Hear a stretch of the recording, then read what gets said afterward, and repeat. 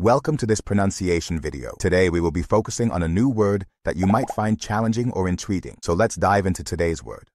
Bolos, which means Traditional Greek festive bread, often associated with Easter celebrations. Let's say it all together. Bolos. Bolos. Bolos. One more time. Bolos. Bolos. Bolos.